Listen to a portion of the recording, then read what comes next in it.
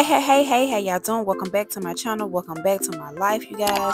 So in today's video, you guys, I will be doing a DIY coffee station slash coffee bar, you guys. So I went over to Target to get me a coffee maker. I didn't get the one that I originally wanted, but I went on ahead and got this Hamilton Beach coffee maker, you guys. It was only $19 um hubby was just basically explaining to me baby it does the same thing. Just get this one till you're able to get the other one. Y'all the other one was like 50 60 dollars so yeah.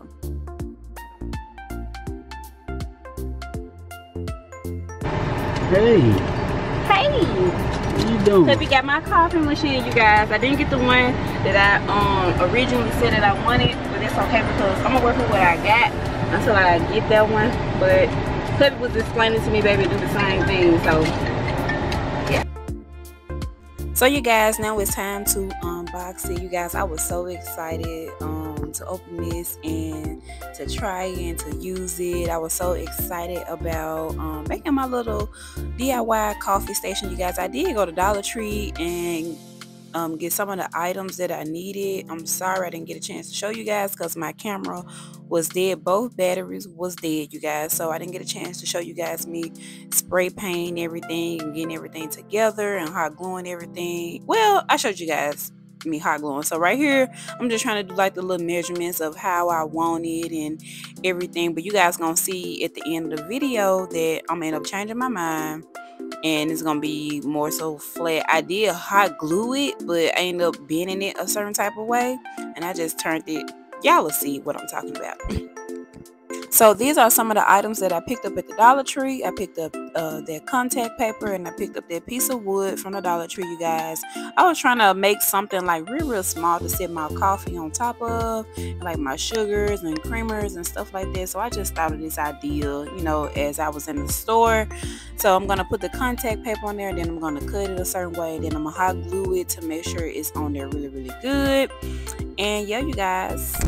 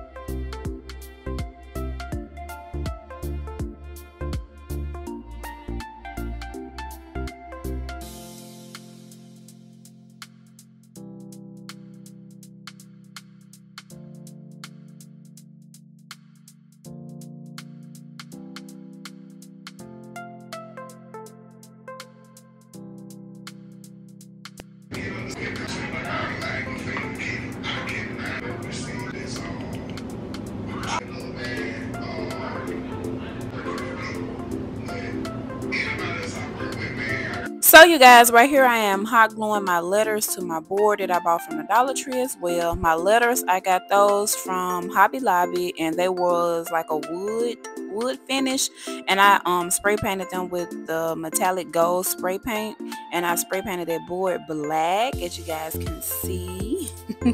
But you guys um I actually enjoyed making this. Um I ended up adding a flower at the top. Y'all gonna see that at the end and you guys see that how it looks now? At the end of the video you guys gonna see where I end up flattening a certain type of way. And I um moved this thing around so many times you guys trying to see how I want it where I want to put it. I wanted to put it on my other side of my countertop but my microwave is in the way so I can't do it. And the microwave up above the stove is still out. We haven't um I don't know, you guys. I just haven't sent anybody out to fix it yet. to be honest, I don't know why, but I just haven't did it. But um, it's okay. But we're gonna go ahead and work with what we have, what small space that we have, because I really don't want it too big, but I wanted it, you know, right. And this sticky paper, you guys, hubby printed this out for me, and I'm I ended up cutting it to make it a little bit smaller. And I went on ahead and poured my Dunkin' uh, coffee blend inside of the jar. Let me stop talking now.